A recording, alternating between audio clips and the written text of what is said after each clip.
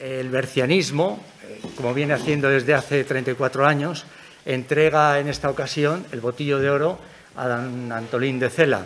Es un reconocimiento súper merecido, insisto, tiene muchos galardones, tiene muchos premios, pero eh, a, la junta, a la Junta Directiva del Partido del Bierzo, a Coalición por el Bierzo, pues teníamos que, darle este, que hacerle este reconocimiento, no podría ser de otra manera. Y bueno, pues nada, felicitarlo, muchas gracias por la labor, eh, don Antolín, y, muchas gracias eso, en nombre del Bierzo, porque es muy grande la labor que, ha estado haciendo durante años.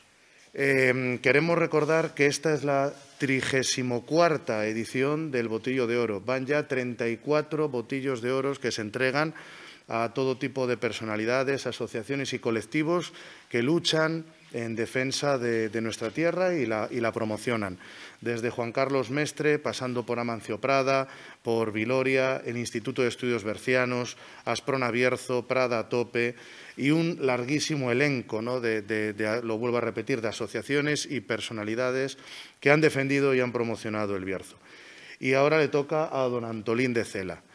Don Antolín de Cela es eh, probablemente uno de los impulsores en los últimos años de la Tebaida berciana y de la defensa de toda la Valdueza y de toda esta parte del patrimonio que se encuentra en el Bierzo y enclavado, por supuesto, en nuestro municipio, como el origen de, esa Tebaida berciana. Eh, la Valdueza, eh, la parte sur, no me cansaré nunca de decirlo y de repetirlo, del municipio de Ponferrada.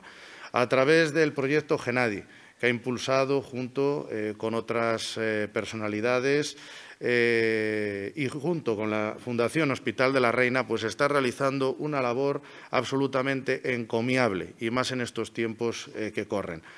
La verdad que para nosotros pues ha sido todo un referente. Yo creo que es la primera vez, la primera vez probablemente y con total seguridad que en Ponferrada, pero la primera vez que, que en el Bierzo alguien se atreve a ir a ese 1,5% cultural y conseguir una subvención millonaria para sacar por fin del olvido lo que otros durante tantísimos años llevamos reivindicando, que es nuestro patrimonio y ese, y ese monasterio eh, de Montes, entre otras cuestiones.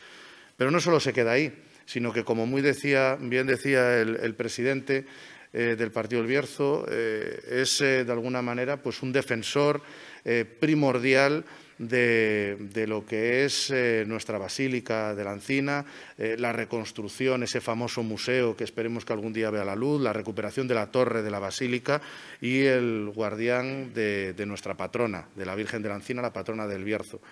Pero es que además también eh, lleva a cabo una importante labor social a través del hogar del transeúnte el hogar del transeúnte, precisamente también llamado San Genadio.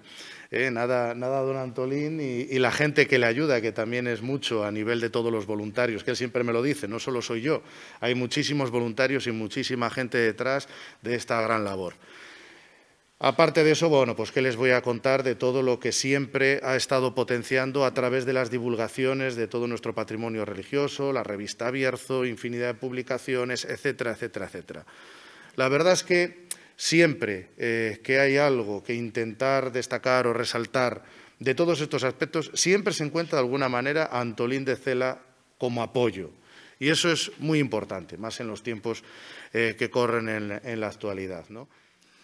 Me siento especialmente feliz por este premio que refleja un poco el conocimiento y reconocimiento de mi entusiasmo por la restauración del patrimonio de nuestra comarca del Bierzo.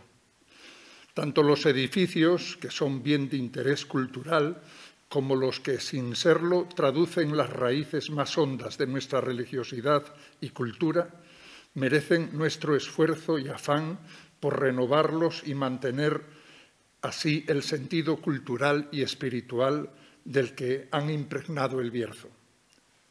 Además, ellos son la riqueza más importante que hoy tenemos riqueza que atrae a tantas personas que llegan a nuestra tierra en busca de espacios, de monumentos históricos a los que admirar y contemplar.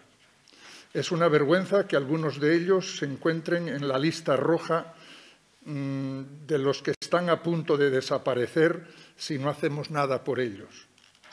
Me imagino que el premio tiene que ver con mi colaboración en la restauración de la panda este del monasterio de Montes, la celebración del Congreso Internacional de la fundación del referido monasterio, la fundación junto con otros del Plan Genadi, algunas casas de servicio público cultural en Peñalba y en Montes de Valdueza, así como la restauración de la ermita de la Santa Cruz y, entre otras, la colaboración en el templo de Peñalba y de Montes.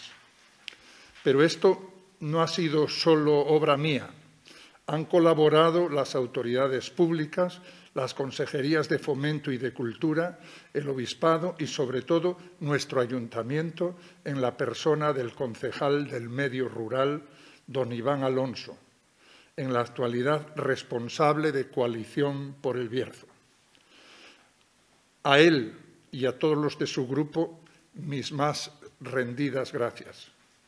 Lejos de mí el sentido partidista, militante y servil de mis palabras, pero en honor de la verdad, si es que la verdad necesita honor, he de decir que admiro la tenacidad, el esfuerzo, el trabajo y la cercanía que Iván y su grupo pone en su trabajo y en el esfuerzo por atender los pueblos del Alfoz de Ponferrada.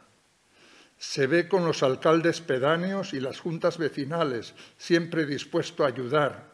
Y en los pueblos el cura no tiene que converger con ningún partido en la ideología, pero sí colaborar en el servicio a la gente y en el bien común.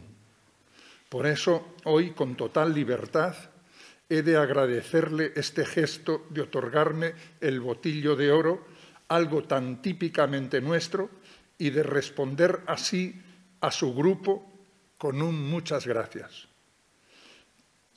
Que esta pasión por los núcleos rurales, a veces tan solos y tan necesitados, nos lleve a seguir trabajando a todos, Iglesia y grupos políticos sociales del ayuntamiento, entre los que Iván sabe cumplir muy bien, por unos pueblos más atendidos, por unas comunidades más comunicadas, siempre acompañados y siempre más humanos. Al grupo y a Iván, muchas gracias.